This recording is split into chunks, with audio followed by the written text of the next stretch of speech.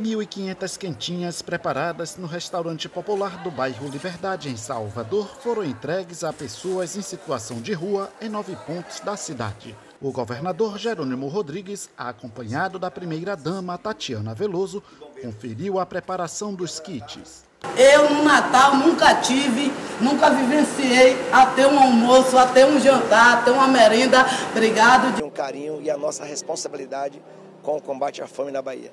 Essa alimentação aqui hoje não é só para a população de rua, não. Muita gente que está em sua casa, que não tem condições, vai poder ir lá e pegar sua refeição para poder fazer sua ceia de Natal. O Natal Social é realizado pela Secretaria Estadual de Assistência e Desenvolvimento Social em parceria com as voluntárias sociais da Bahia, o Corpo de Bombeiros Militar e o Movimento Nacional da População em Situação de Rua. A ação solidária, que integra os programas Bahia Sem Fome e Corra Pro Abraço, reforça o combate à insegurança alimentar e nutricional. Uma ação fortalecedora da proposta do Bahia Sem Fome, que é levar alimentos de qualidade a toda a nossa população. Portanto, hoje serão mais de 1.500 refeições em nove pontos da nossa cidade.